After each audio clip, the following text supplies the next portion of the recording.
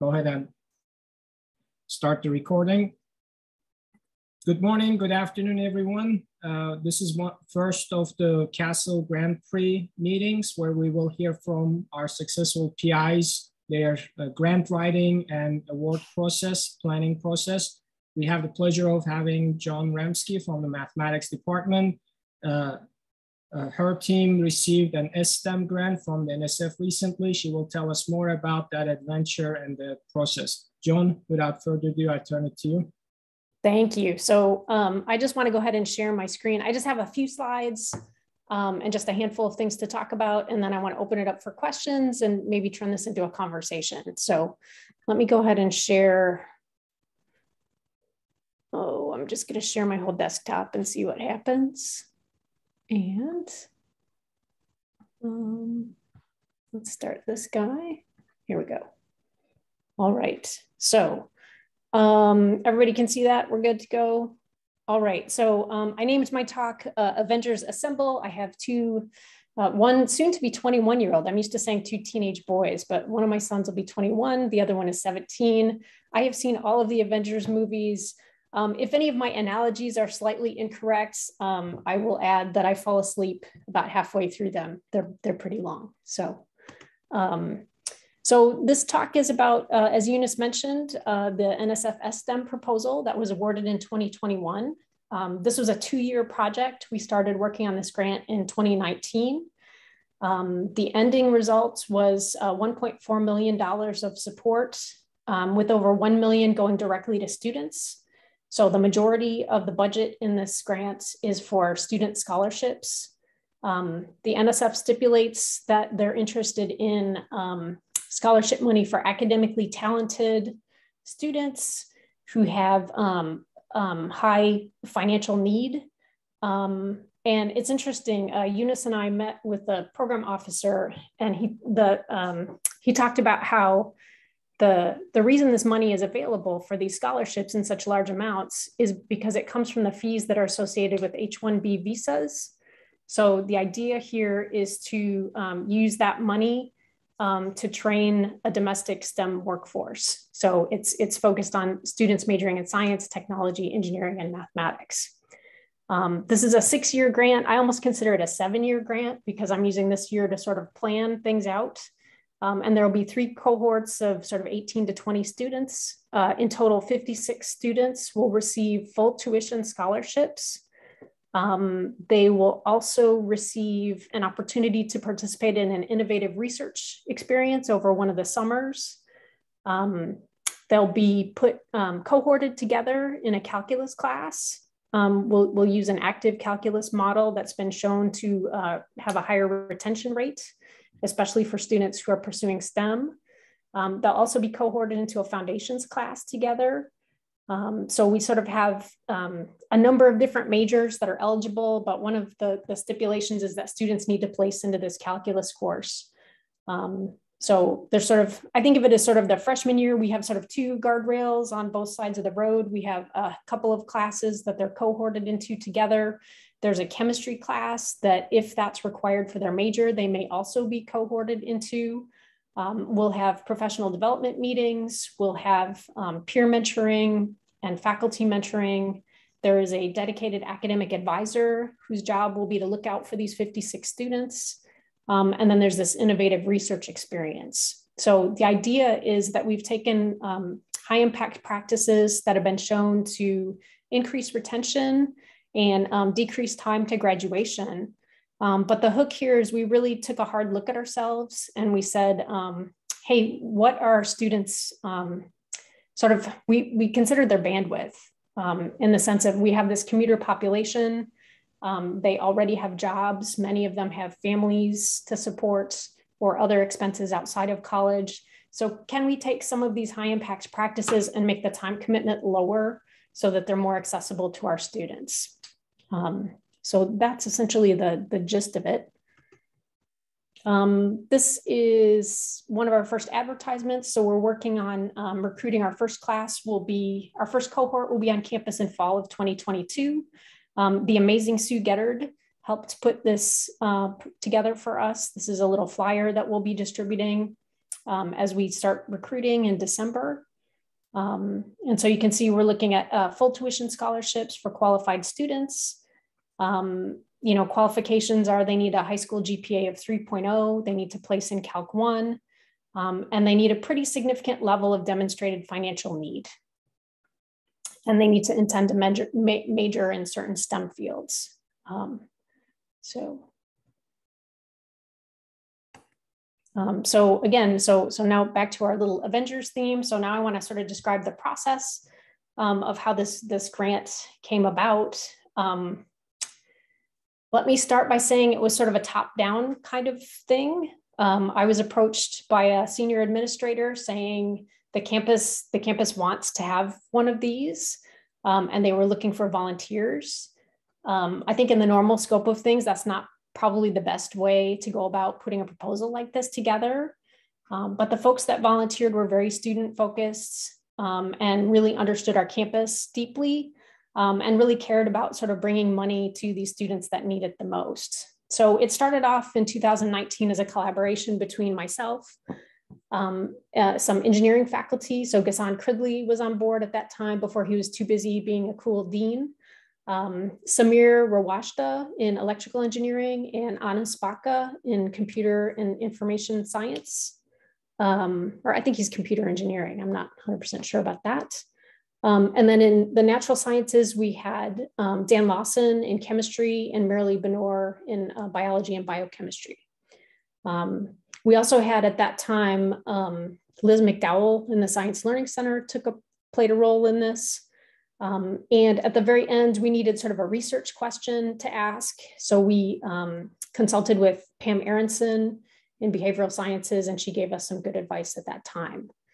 Um, so the, the first iteration of the proposal that we wrote was, um, I would say it was a, I don't know, I want to call it like the kitchen sink model um, or the maybe we should have called it yeah we've got that too. It was sort of like we went down the checklist of all of the things that nsf was looking for. They're looking for mentoring. Yeah we got that too. They're looking for research. Yeah we got that too.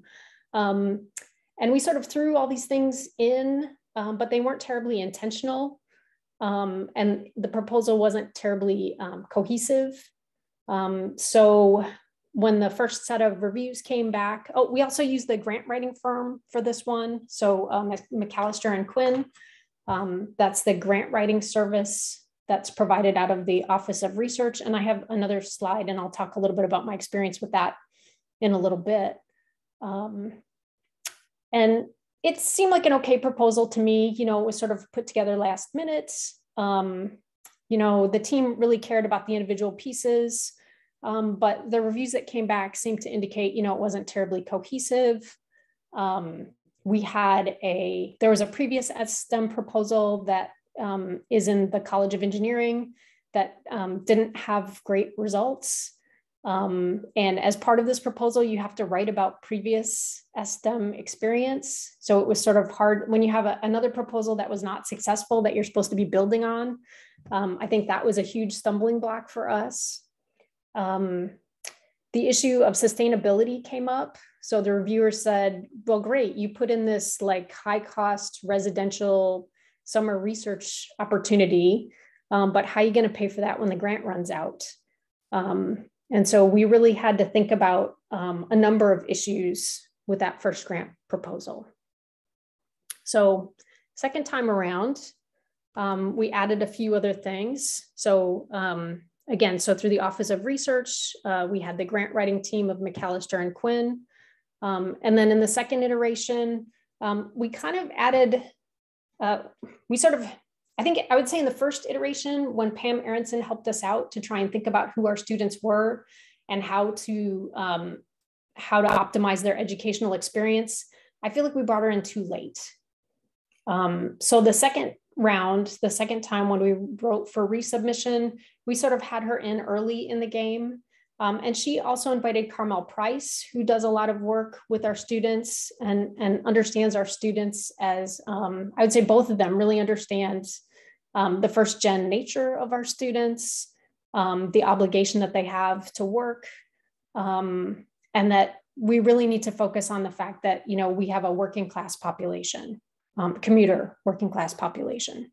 Um, I also talked to Ellen Judge Gonzalez in the SOAR program um, because that's a fabulously, you know, successful program. And I wanted to know sort of what was the secret to her success. And, and I felt like I learned a lot um, from those three folks who are not sort of normal uh, named folks on the proposal, um, but they really contributed a lot to our understanding of our student population um, and how to build a successful program. Um, handful of other people came into play. So when you write a proposal with this kind of scope, um, NSF needs to see data. So you can't just say like, hey, we have students, you know, that are Pell eligible and they're majoring in these majors. You have to actually show sort of demonstrated data. Um, how many Pell eligible students do you have? Exactly what are their majors? Do you have enough to give out the scholarships that you're claiming that you can give out? So I worked with um, Becky Chadwick and Tomas Malinowski in um, institutional research and effectiveness. Um, they were a fabulous resource. Um, we could sort of formulate questions that we wanted to ask about this particular population. Um, and, and they were just really good at getting us great data.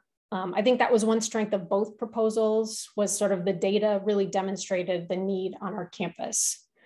Um, um, so let's see, who else do I have here? I have um, CEDAR. So the um, Center for Educational Design and um, Evaluation Research, is that it? Center for Educational Design and Evaluation Research. That sounds right. So through the School of Ed in Ann Arbor, um, in a lot of these grant proposals, you need an, an evaluation. So if you say your uh, objective is to um, say increase retention rates from first to second year or um, decrease the time it takes for uh, you know graduation or increase the percent of students who graduate within a certain amount of time. Um, an external evaluator, I think, really makes the, the project look a lot more professional. Um, so again, this was a resource that I ran into through Eunice, collaboration with Eunice. Um, he sort of pointed out that you know having someone that's that's not on campus and not sort of closely related to the project uh, makes it look like the evaluation is a little bit more objective. Sort of, you might think of as, as an arm's length kind of thing. Um, so they've been extremely helpful. Um, I think they set up a logic model um, for the outcomes that we're trying to achieve and how those will be evaluated. And I think that was viewed very favorably um, in the in the reviews of the proposal. Um, that second year, we also added in, so through a separate, um, there was a separate group meeting. So it was Eunice and Alan Wiggins. Um, I'm trying to remember if there are other people involved there. I think there may have been, but they may have disappeared. Um, they were working on an S-STEM proposal. Was that what it was, Eunice? Do you remember? Yeah, IUSE. Uh, IUSE. yeah, right. IUSE. Yeah.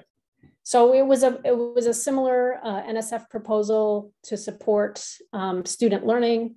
Um, they were interested in more of an emerging scholars model to support students in calculus. Um, and when they took their one pager to the program officer, um, they got some feedback that it looked more like an S-STEM project than an IUSE project. So um, because I was in touch with those folks, I invited them to, to join in. I think that really strengthened the support that we had for the calculus um, part of the project. Um, and that was a really uh, useful addition.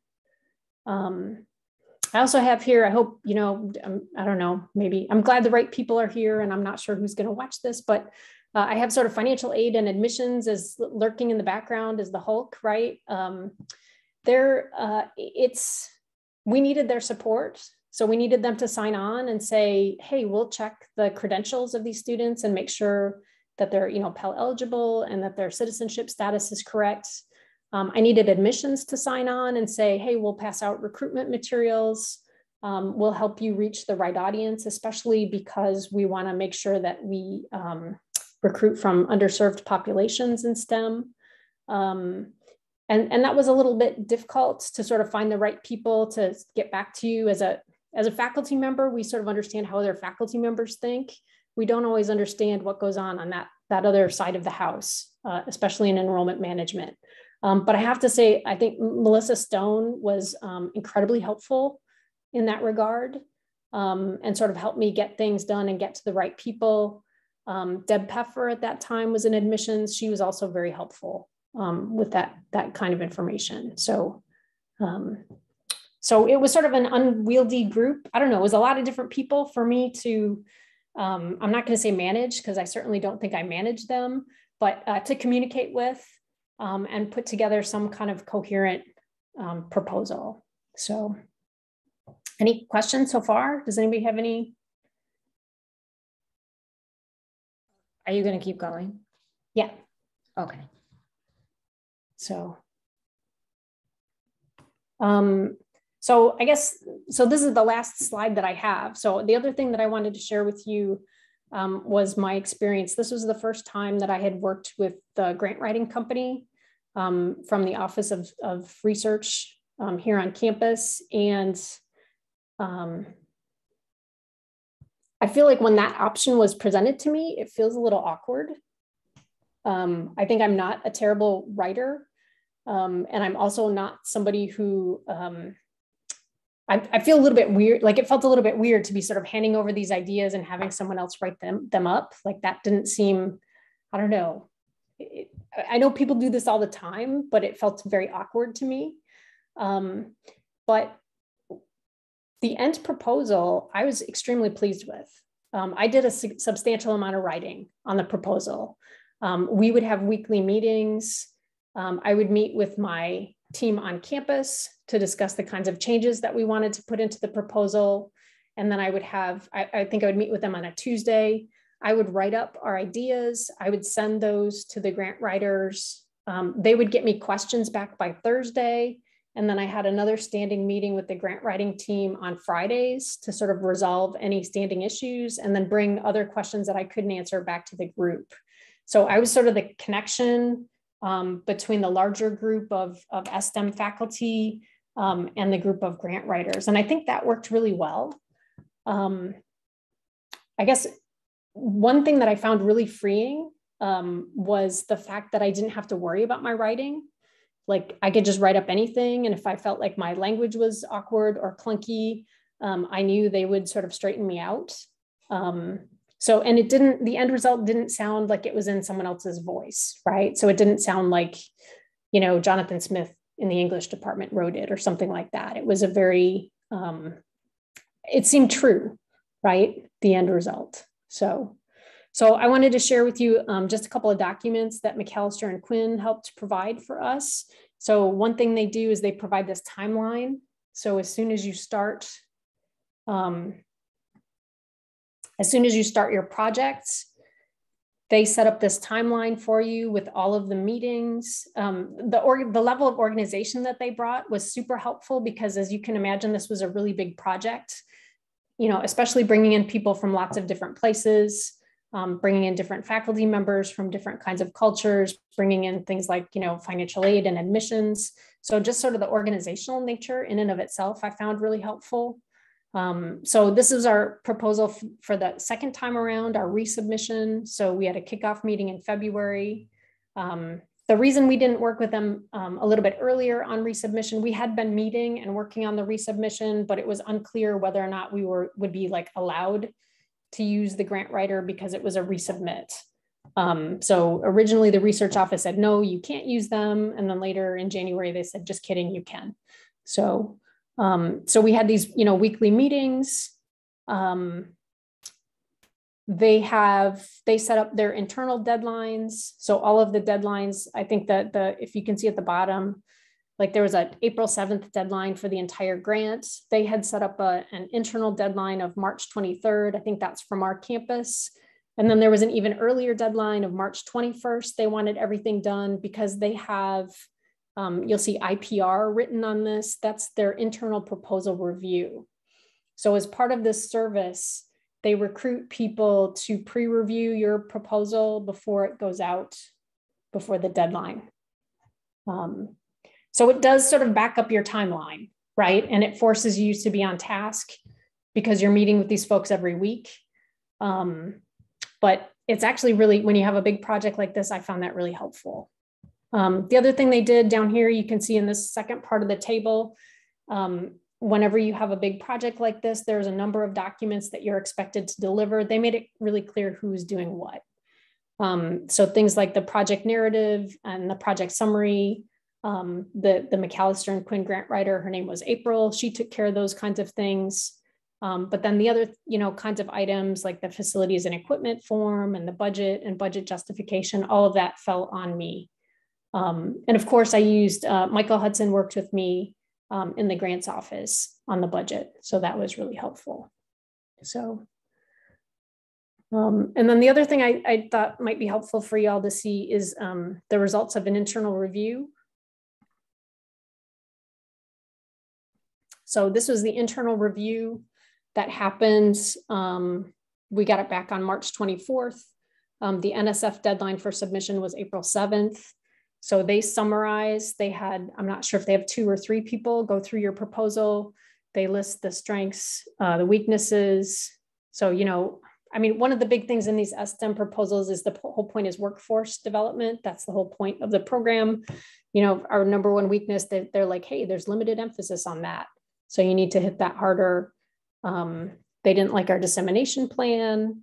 Um, and then they wanted us to refocus our broader impacts but they check every single like if you look at the proposal guidelines for one of these things i mean they can be like 20 or 30 pages long like listing all of the things that you have to have in this document. And they have these rubrics set up where they actually go into your proposal and they look and they see is this right thing in the right place? Yes or no.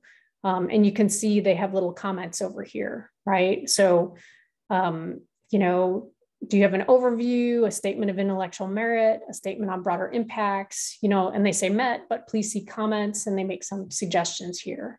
Um, so every single like item in the proposal guidelines is part of this. Um, you know, from the font size, um, you know, all the way down to did you comment on previous kinds of grants? So, um, so again, I guess what, what do you want me to say about that? helpful, right? Certainly helpful to make have somebody like checking all those boxes and making sure that you're doing all the things that the grant proposal asks you to do. Um, on the other hand, like the first time through, we got these really great reviews back from this internal review in the 2019 proposal. I thought that was really great because this internal review came back and said, "Oh, this looks really great. You know, you guys have great data." Um, but NSF, you know, felt otherwise the first time around. They didn't fund it. Um, so I think there may be some limited helpfulness to this internal review process. Um, but overall, you know, again, I would say um, it didn't feel like someone else had written it. Um, it didn't feel, and it, it helped, it, it really freed me up to just write and not worry about the writing. Um, I could worry about, you know, sort of the structure you know, on the program that we were building and things like that. But it really freed me up to just put my thoughts down any old way and not like sweat over details like I usually do if I'm writing the whole thing. So, um, so I think I'll stop there. That was super helpful, Joan. Thank you. Uh, I'll ask if uh, other folks have questions too, but I'll just pose one. You mentioned this, but I wanted to highlight this point a little bit more because uh, sometimes when we think about grant writing or project planning, uh, maybe not not everyone, but some people may think that's like this mad scientist approach. You have to go to seclusion, work in your basement for weeks and months. Uh, that's one approach. But in your in this approach, you presented is more like open, inviting people, uh, seeking ideas, uh, feedback, seeking help, maybe using some other connections, uh, taking advantage of Office of Research. Uh, and one good thing, at least uh, on our campus, we are not very competitive. I know in some other institutions, for some grants, they only have limited submission and you may have some sort of internal competition like, no, no, I want to submit for that, not you attitude. But I haven't seen that on our campus. People are usually very encouraging others to pursue and help in any way they can. Uh, would you like to say anything about that aspect of this particular submission? Yeah i think that i, I would describe that completely you know um, I, I think that's a great way to to to talk about this whole process it was extremely collaborative Um, in some sense, I felt like I was sort of the keeper of the information and the go-between between the folks on the U of M Dearborn campus and the grant writing team. Um, and, and, by the way, you know, I think they would have welcomed more people at the grant writing meetings, and I did invite more folks from the the STEM faculty to come and meet with them, but people were busy. Um, and I kind of felt because I was chair and had a little bit of extra time, like if they didn't want to do that, I was okay with with handling that. Um, but it did feel very collaborative. Um, and it was great being able to sort of bounce ideas back and forth.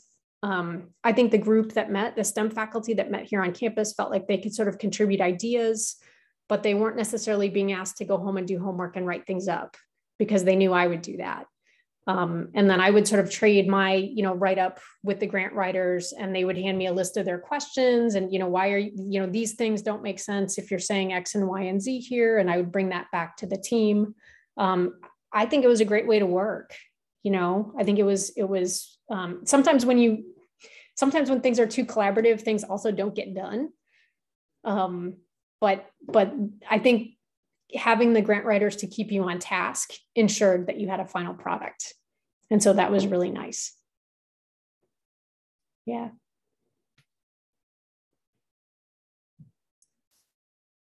Liz?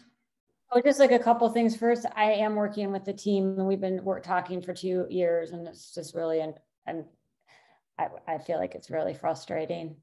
We're, we're not out on the same campus, but just as an FYI, I did talk to um, because I'm here. I did talk to Marilee Benore about this grant, and I guess one thing I would say would be missing is the writing piece. I just um, I'm teaching a class on science writing. It's a new class, FYI. Um, but in terms of retention, um, also you know, our we're, we have these studio classes in comp, and we're thinking about having um, discipline specific studios. So that might be something that you might consider, you know, as a cohorts show up. Um, and then, then I also wonder about um, the Go Blue guarantee is going to be kind of competing with, with for you for these students. Um, I, I, they're going to maybe try and change that grade point average um, because it was really not realistic to have the three five grade point average. So I, in the future, that might dilute.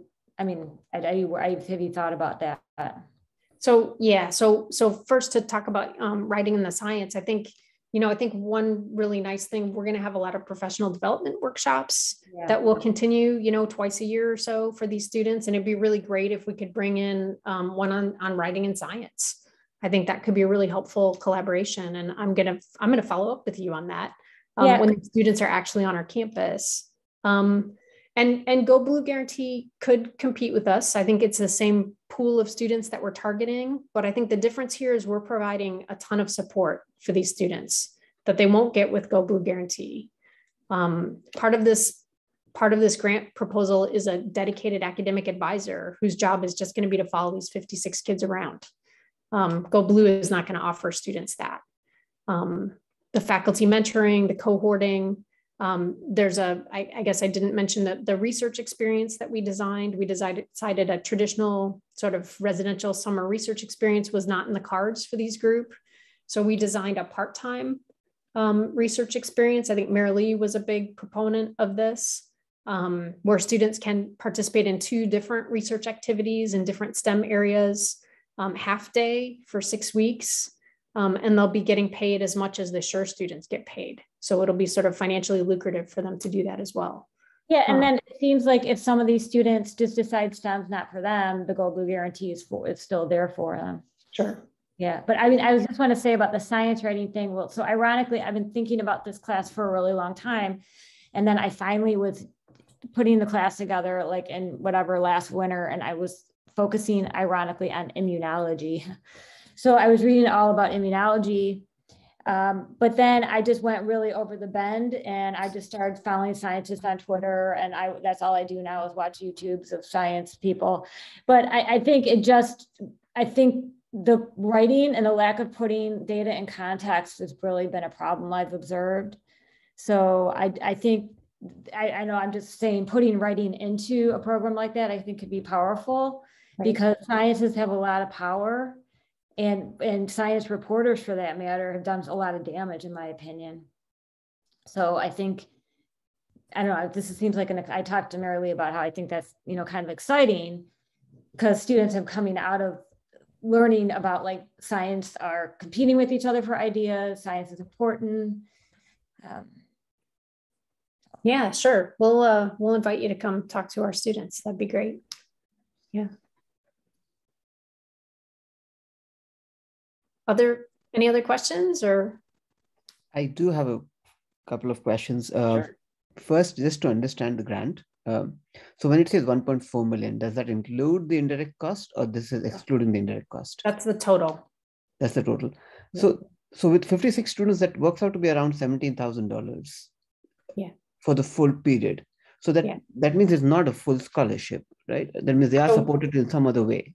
Right. So we are count, they need to be Pell eligible. So they will have Pell grants covering the remainder of their tuition. Right. I see. So we will be covering sort of up to, I want to say it's up to about $4,000 a year for the students okay. which is the remainder of their, you know, tuition costs. It, we're covering their unmet need. Yeah. I see. Okay. Okay. Uh, the other question uh, I was curious about. So you said that they look at, you need to comment on the previous STEM proposal. Does it need to be, uh, sorry, previous STEM proposal? Yeah. Does it need to be a successful proposal, a, a grant or a proposal? Um, so it's, a, it's, this was an awarded grant. So the issue that we had was um, engineering department has an awarded grant okay. um, that maybe just closed out a year or so ago. Okay. Um, and I want to say only at the time we wrote our proposal, only a third of the students had graduated. Okay. Um, and this was, I don't know if it was a four or five year time frame, um, but it was not like you had to write it down and you had to put it like almost within the first couple of pages and it just mm-hmm. felt like who is going to read anything after that like after you say you know and so we really had to like talk to those folks and say hey and and we did learn like we learned um, they tried to cohort them they put them in the same math class um, they were students that were all in one major i want to say it was like manufacturing engineering mm-hmm. so they bring their their cohort in but the cohort placed into like three or four different math classes. So somewhere in math 90, somewhere in math 105, somewhere in math 115. So so now they have three sort of groups of students and they tried to put them in the same class and then students would go back and rearrange their schedule. They would say, "Oh, this class isn't convenient for me. I work at that time. I'm going to take a different class." So we really like mandated, we tied down like you have to take our calc 1. Like you can't get the scholarship if you're not going to sign up for this class. Um, in the hopes that that will really, you know, successfully help this, these students, you know, form a cohesive group. Um, and but that is only for one course that they need to be as a cohort. That's right, because there are multiple majors. Yes. They could be biology and chemistry and engineering. And yeah, absolutely. So we sort of have firm guardrails on year one with the calculus course and the foundations course and an optional chemistry course. Um, and then after that, we're just going to bring them back for professional development workshops. They'll have a research experience opportunity after their sophomore year. Um, but yeah, when you recruit multiple majors, like you can't keep them together. Um, but I will say with teaching active calculus, like I have taught that group. Um, and I do know, like, I'll be walking through the university center and I'll see two students that I had in my active calculus class, and they're still hanging out together. Um, yes. and, and, and for me, if that's the only thing they get out of my math class is a, is a best friend, right? That's really not a terrible thing. Um, and I'll just add uh, about that uh, my question, something I noticed talking to NSF program directors about this. Uh, when you report, when you talk about your STEM proposal, you need to uh, talk about all the STEM proposals happening on campus or that happened on yeah. campus previously up to a certain like five years or so.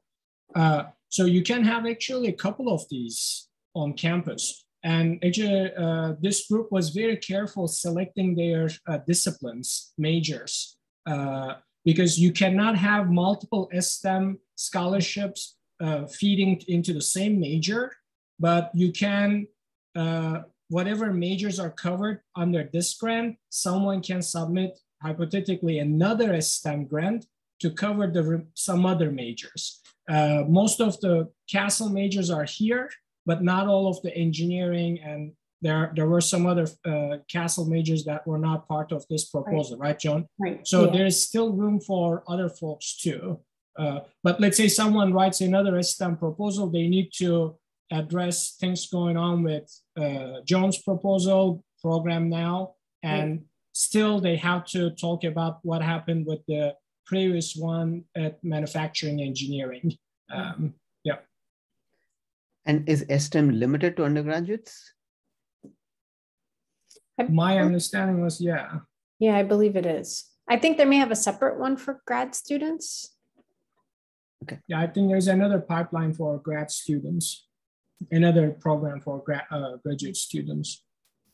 But for example, what I had in mind is when we when I was at Bentley during my sabbatical, we would run uh, these sessions which were not targeted towards current Bentley students but people who were in the IT space, but who were, who were trying to transition into, say, data science.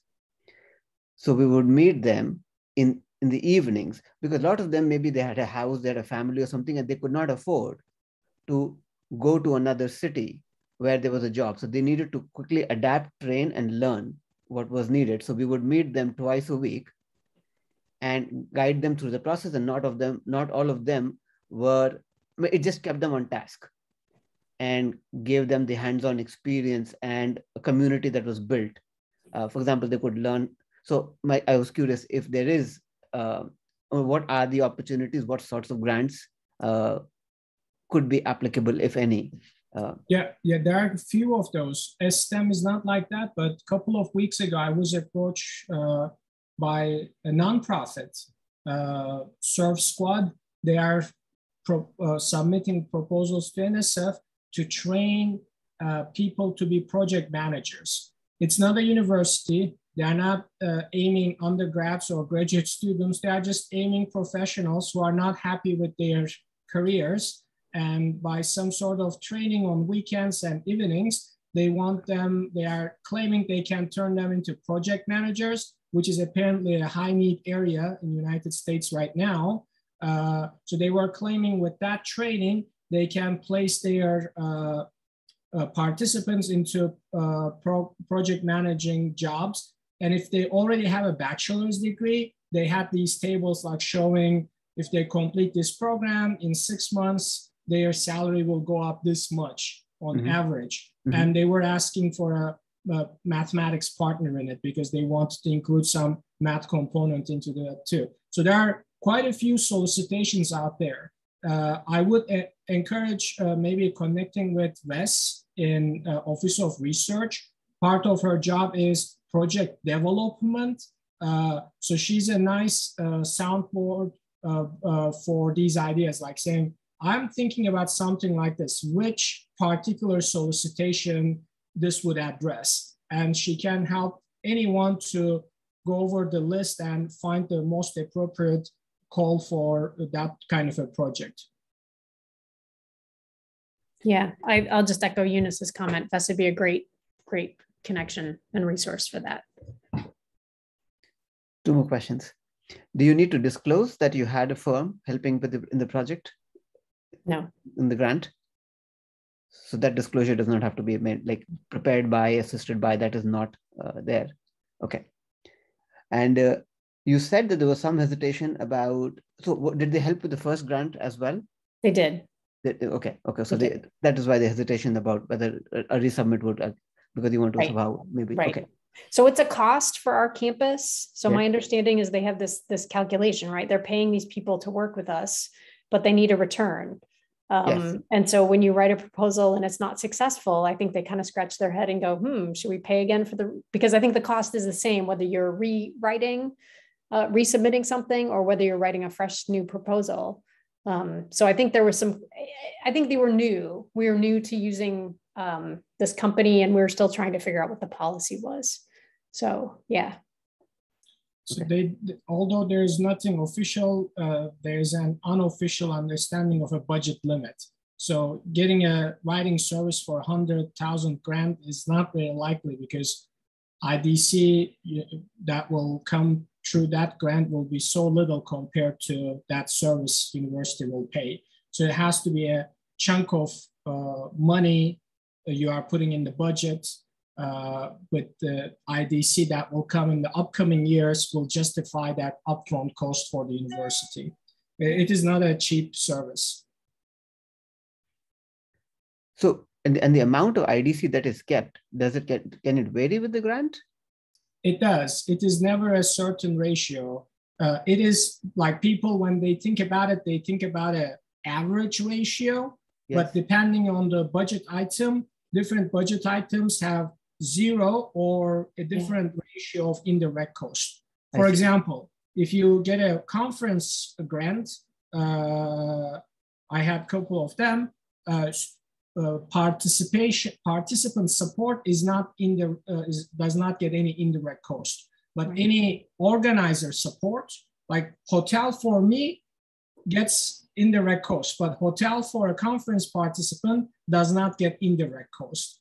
Uh, or like if the university books the whole rooms for all the participants, then there will be in indirect cost generation. But if people individually book their rooms and reimburse, maybe there will be a different procedure. So it is quite complicated, that uh, IDC calculation. Okay. And, and even um, this grant, I'm trying to remember what the number was, but the IDC was not super high because a million dollars was participant support. That, that, that, that is the reason why I'm, I'm looking at them because one of the yeah. one of the motivations for of course getting a grant helps one get another one it just opens the door so there may not be that much of uh, idc in the beginning but it just it, it it has a angry bird effect in some sense uh, so because here i did not see a very significant idc uh, so right. i was curious okay Great.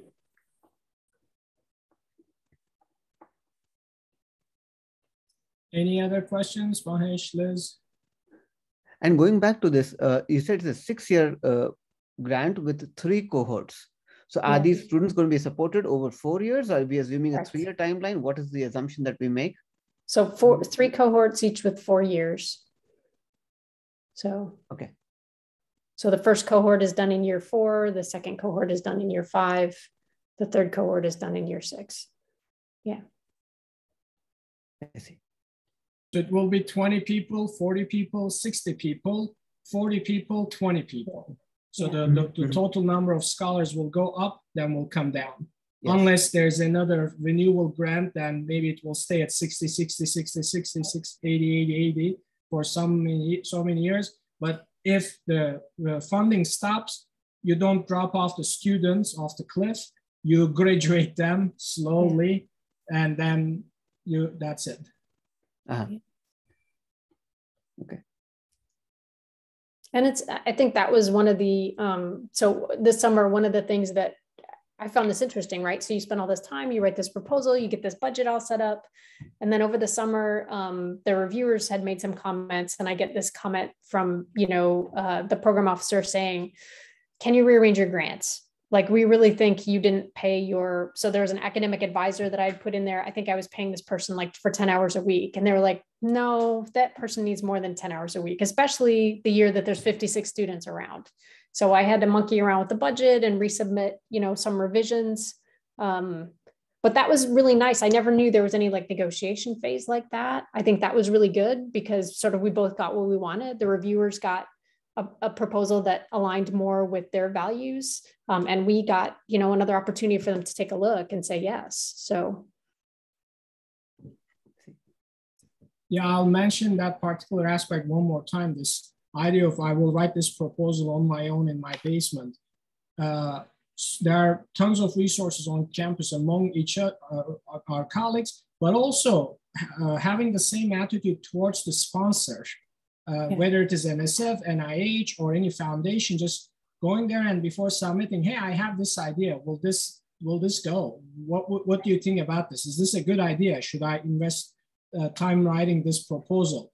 Uh, they are, they always give uh, not very concrete answers, as you can imagine, but they are helpful. Uh, so even like when you interpolate some of the things they said, you can come up with a good understanding of what you have to do or what you can do, what you cannot. So I think communication is really, really essential here. Uh, here on campus uh, uh or, uh, or, with the sponsors, even before the submission, uh, reaching out to sponsors and running some ideas by them or I think, yeah. Particular people, yep. Yeah, so just to give a particular example of that, so Eunice um, introduced me to one of the program officers, and we ran the one pager by for the second submission. Um, and he made a really big deal about how you should have a table um, that states every single for every single piece and every single activity, like who on campus is going to be responsible for that you know mm-hmm. so checking the um, admissions applications you know that's going to go through you know like financial aid is going to check the financial data and admissions is going to check the academic data. Um, and by adding that in um, it really showed this it was this really cool table that showed super broad campus support you know? And it wasn't just like these five people you know in math and science trying to do this all together on their own. Um, so I, I, thought you know I thought that was a really great way to convey that information. Um, that your grant is connected. You know, your whole campus is investing in this. It's not just a group of a handful of faculty doing this. And is there a place where we can look at the grants that have been awarded on the campus? I don't know.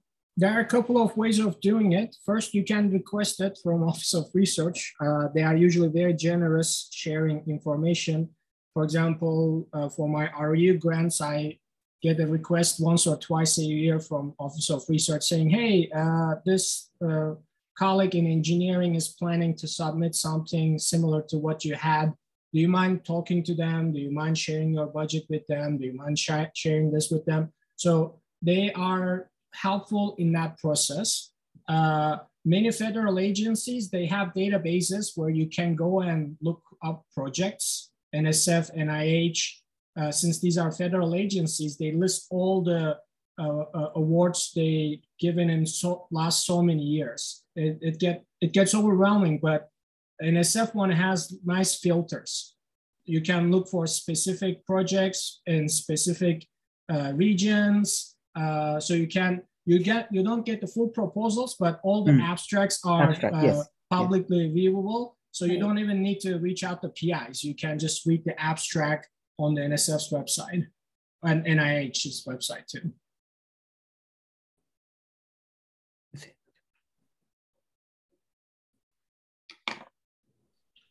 Uh, I will pose one other question, Joan. This is not, uh, this was one of the questions that people asked me to ask to all the speakers. And since this is a recording, I'm sure other folks will watch this too. Uh, this is not about the technicalities of any particular grant, but um, the, the way we approach these sorts of projects. Because uh, after all, you're a tenured professor, you're a department chair, you already have many responsibilities. And if you don't get this grant, you not, not much will change in your professional life. Uh, you are already at a very stable position in terms of what you do, what you want to do, or what you don't want to do. So uh, from a point of view, this very practical point of view, you don't have many incentives to do something like this. So where did you find the motivation to take this very serious challenge, all this writing, communication, planning, coordinating, then running the program? Uh, where do you find that motivation? So I, I think that's a really great question. Um, I think this is not, you know, I, I didn't enter into this project for, you know, a line on my CV. Um, I think this is, and, and again, you know, because of the way this was initiated, is sort of the campus needs this, you know, we want, we're looking for volunteers. Um, I don't think I could have stepped up. I don't think I would have stepped up if this was not something that I cared about deeply. So um, understanding the financial need that our students have um, 40% of our students are Pell eligible. Um, looking at sort of retention and graduation information data, you know, showing that um, the, the delayed graduation rates for students that are Pell eligible, for students that are underrepresented minorities. Um, I care very deeply about all of that stuff. Um, so I don't think, I, I mean, I, I mean, yeah, I don't think I could have done this if I didn't care about those kinds of outcomes. Um, if you said, you know, tomorrow you're writing a grant um, and it's going to do, I don't know, something that I'm not particularly interested in, it's going to bring um, more money to the dean's office, you know, or something, um, I'd be like, yeah, I'll pass. You know, that's not. Um, but you know, I I was a student here at U of M Dearborn. Um, as a faculty member, I am very passionate about my teaching and I enjoy teaching, especially the freshmen. Um, I understand the, the student body and our, our population pretty well, um, and I care about their success. So, um, so this isn't about me. Um, and, and I couldn't have done it if it was just about me. Does that, does that make sense? I, I love that answer. Yeah. Yeah, when we post the recording, maybe we'll put that there. It's not about me. thanks, Joan. Yeah, thanks for doing it for our students. Sure. Yeah. Any other questions? If not, I will go ahead and stop the recording, but we can stick around if you want to chat more about different issues. So I'll go ahead and stop the recording.